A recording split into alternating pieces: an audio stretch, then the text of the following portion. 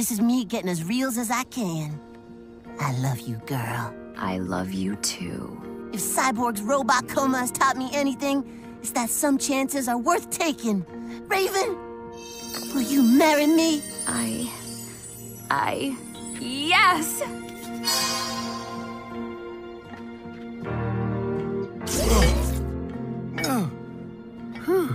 You're awake! Yes, these expressions of love and truth saved me from my robot coma.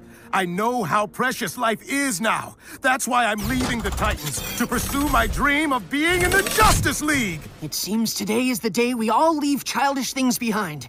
Pranks, jokes, and tomfoolery have no place here. And my identity must reflect that. From this day forward, call me Nightwing. The hair so beautiful. We'll go our separate ways. I guess this is it. This is the end of Teen Titans Go. Nightwing, kiss me now.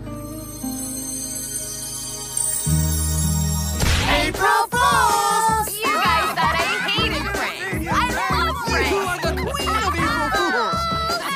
April Fools, we got you. This is a good one. April Fools!